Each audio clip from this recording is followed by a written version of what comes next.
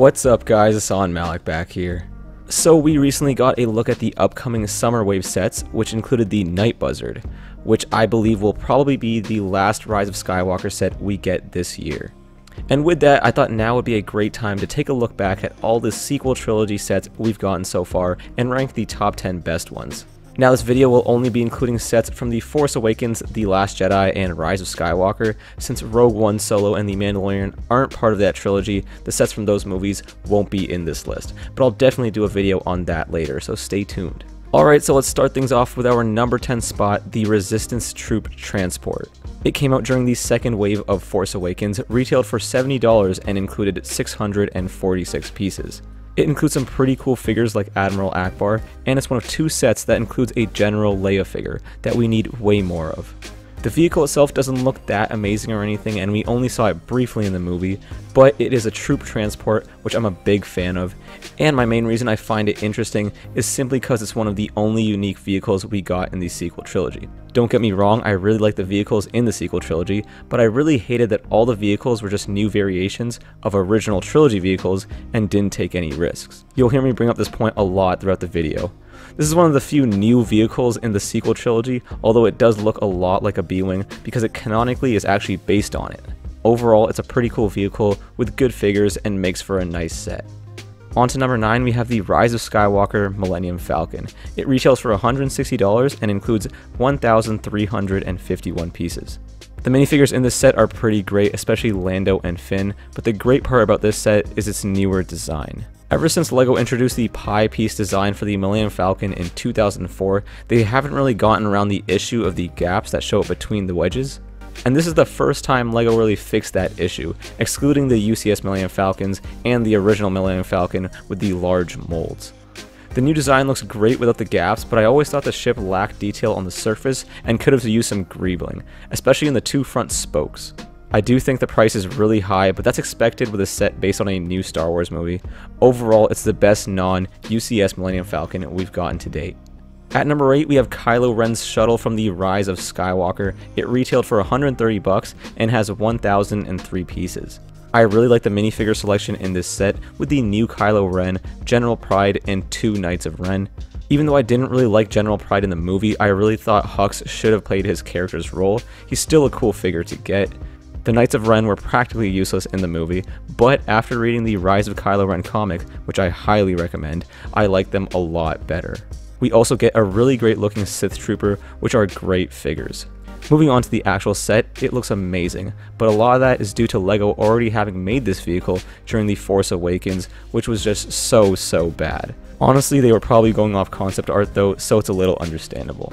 I love that they went with black pieces and the trans red pieces for the front windscreen. It makes it look so menacing. The ship is also super iconic and is in every sequel trilogy movie, which makes it even more desirable. It's another one of those unique ships in the whole trilogy. Okay, at number 7 we have another very unique ship, the Resistance Bomber. It retailed for $110 and included 778 pieces, so not the greatest in terms of price. The minifigures in this one are just okay, the main ones being Holdo and Poe in his jumpsuit, and getting a bunch of Resistance pilots is also great. The real star of this set for me is the ship itself though. Just like the last few picks, it's one of those unique vehicles in the new films.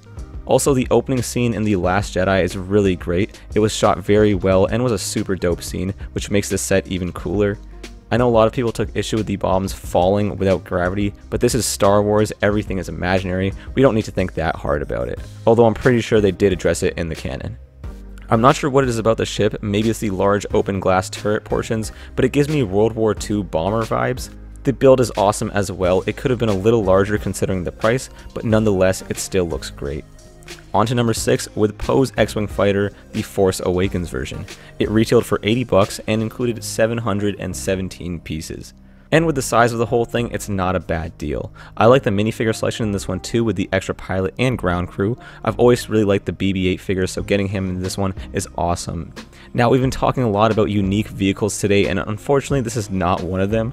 I really don't like that the Rebel fleet in the sequel trilogy is made up of X-Wings, A-Wings, and Y-Wings. As LEGO X-Wings go, this is a very well designed one, but the best thing about this one is the paint job. It's one of the only dark stealthy X-Wings we have in the Star Wars universe, and like the only one we have in LEGO form as well. Although it's not very unique, it's still one of my favorite LEGO X-Wings we've ever received. Okay, we are now halfway through our list, and at our number 5 spot, we have the First Order Transporter. It retailed for $90 and included 792 pieces. It may feel a little expensive with the size, but the build on this one is very solid and well done. The minifigure selection here is really awesome we get Phasma, who is a great looking character, but super underused in the films. The rest of the minifigures are just regular First Order and Resistance Troopers, which makes this a great set for army building. This is another one of those unique designs from the sequel trilogy, and my favorite part about it is how the front doors come down, kind of like a landing craft from World War II. It's also shaped just like one, and you can really see the inspiration in the vehicle's design. As you can see, I like troop transports a lot, and this is my favorite one from this era. At number 4, we have the First Order Star Destroyer. It retailed for 160 bucks, but does also include 1,416 pieces, which isn't too bad. I do think the minifigure selection here could have been better. Getting Snoke and First Order officers and pilot are great, but I do think the set could have used more regular stormtroopers considering the price. The ship's design isn't too unique and is just a modified Star Destroyer from the original trilogy, but at least they tried to change it up a little bit. The set's interior isn't too special in my opinion, getting the main bridge is great but the rest of it is way too compact to make anything relevant. My favorite part about this though is just that it's a large cruiser. I love when LEGO does this for ships from any era. It would have been even better to get the Resistance's counterpart to this ship, especially since the entire movie is about chasing one super slowly through space but nonetheless, it's a great vehicle and a great set. We are now at our top 3 finalists, so at our number 3 spot, we have the Duel on Starkiller base. It retails for $20 and includes 191 pieces, which is a great deal.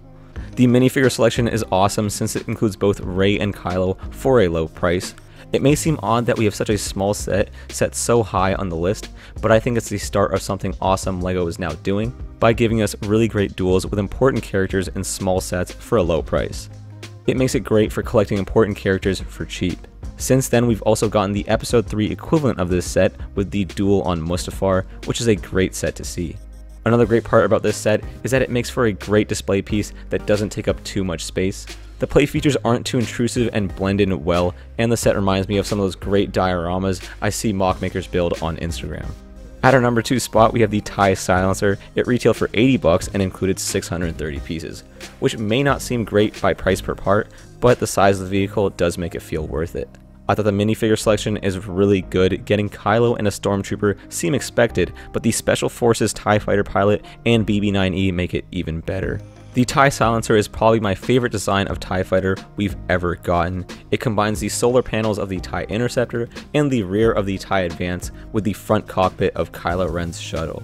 All those badass elements from other great looking ships make this aesthetically the ultimate starfighter in the Star Wars universe. Before we go on to our number one spot, let's take a look at a few honorable mentions without going into too much detail. So for our honorable mentions, we have Rey's Speeder, which is a very unique vehicle with a main character for a great price. The Resistance Trooper Battle Pack that includes some really great helmet pieces that make the Resistance Troopers look way way better, and the Praetorian Guard Battle Pack that lets you get a hold of these awesome figs for a great price. I also wanted to include the UCS Millennium Falcon, which is technically also a sequel trilogy set, but in my opinion didn't really do enough to feel like one. I consider it more of an original trilogy set. Okay guys, here we are at our number one spot, which may be pretty obvious. So at our number one spot, we have Snoke's Throne Room. It retailed for $70 and includes 492 pieces, which is not the greatest price, but everything else about it makes this set worth it.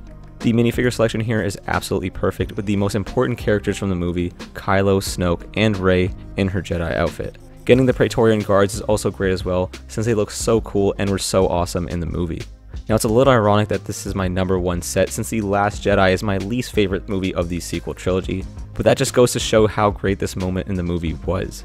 The scene may be one of the best in Star Wars history, it is an amazing duel with great choreography and cinematography. The amount of red and fire just make it look so awesome. I still think Snoke shouldn't have died that early in the trilogy, but man that scene is still awesome. The build up, the execution, and conclusion are just perfect. I'm getting a little carried away talking about the actual scene, but this set captures that moment just perfectly. The play features blend in nicely, and the throne looks great as well. The only thing I'd like to see added would be large red cloth pieces for the drapes in the background. This set would also make for one of the best Star Wars display pieces you could buy. Overall, it's such a great display set that includes all the minifigures you want in one box. Okay guys, there are your top 10 sequel trilogy LEGO Star Wars sets. As always, this list is just my opinion, so make sure to go down in the comments below and let me know what your list would look like. And if you guys want to see more top 10 videos, make sure to subscribe to my channel and check out some previous videos as well. Alright guys, that's pretty much going to do it for me, and I'll catch you all in the next one. Peace.